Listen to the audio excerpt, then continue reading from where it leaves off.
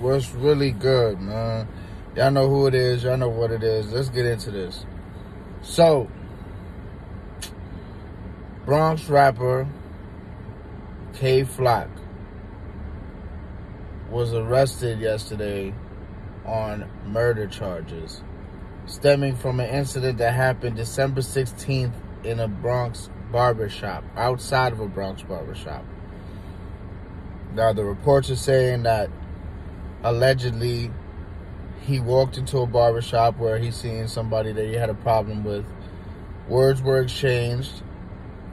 They took whatever problem they had outside where allegedly Kay Flock shot the man and he later died. Um, first off, let me say, man, I listen to Kay Flock. I support.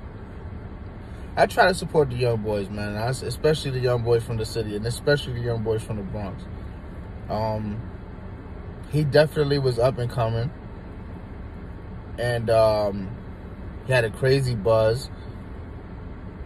But if you listen to his music, and if you know, you know, I know, I know of him a little bit, and um, yeah, he was really, he was really out there.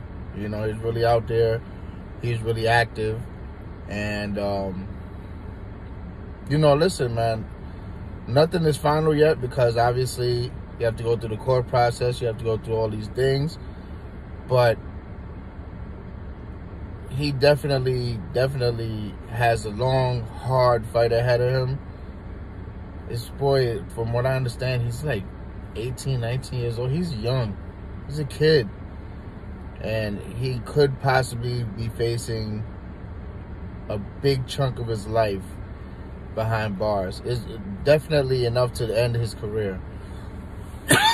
and like I said, this kid just signed a deal, a deal not too long ago he's one of the kids that that um he's one of the dudes that's really that's really lit right now in the city and um yeah it's just it's, it's a shame it's, it's sad it's another it's it's it's another chapter in hip-hop where these these dudes are either dying or they're going to jail and um it's just sad it's just sad that, that you know that that you struggle so hard to get out of a situation only to keep yourself there by choice.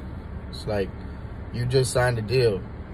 I see you on Instagram buying hundreds of thousands of dollars worth of jewelry, which is good. Go ahead, treat yourself. You know, listen, I'm not here to to shun you for trying to, you know, live your life and be happy. But what I will say is that it's sad that you had the the means and the money to to to to break away and get away from all that negativity. You didn't have to go to a, bar, a barbershop over there by 183rd or wherever the fuck he was at. Could have went to a barbershop somewhere like, you know, like, I, I don't know. I, I get it. I get it because, you know, I'm particular with my barber too. But in the same token, my thing is,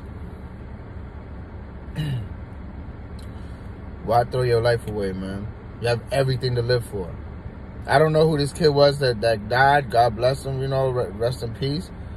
But um, I'm sure that he was not in the position or had the same circumstances that Kay Flock did. Kay Flock is in a position to make more money than the average person will ever see in their life before the age of 25. So anyway, man, that's just it. That's that's a quick little video, man. You know, um, I hope that if it's not true, I hope that you know he can beat the charges.